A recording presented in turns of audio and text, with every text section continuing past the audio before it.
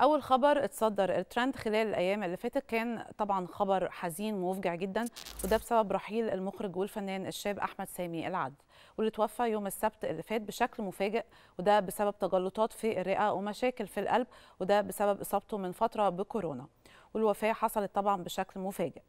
الخبر أصاب عدد كبير من الجمهور على ال social media بالصدمة وخصوصا أن وفاة أحمد كانت بنفس الطريقة تقريبا اللي توفى بيها والده الفنان سامي العدل سنة 2015 بسبب مشاكل في القلب. وكان من أكتر المشاهد اللي تعاطفت معاها ال social media هي حالة الانهيار اللي كانت فيها والدته الفنانة ماجدة نور الدين. وطبعا بنتمنى الرحمة للفنان الراحل وبندعي أن ربنا يلهم أسرته الصبر والسلوان.